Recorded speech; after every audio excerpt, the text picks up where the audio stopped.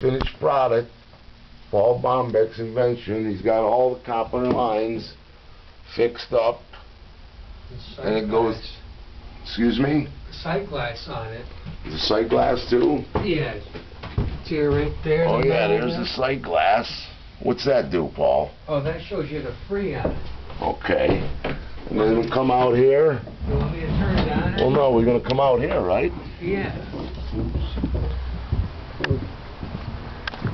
And there's the main Air conditioner. air conditioner. And that's hooked up with the one inside.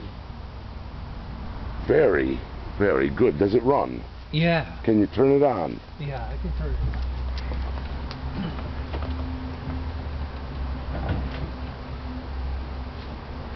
on. All right, Bombeck, fire it up.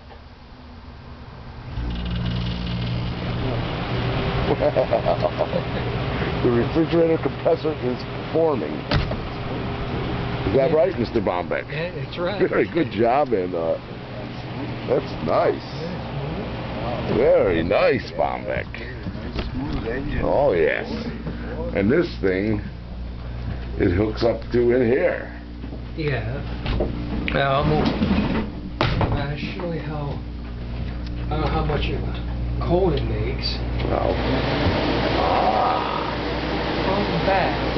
Good, Paul.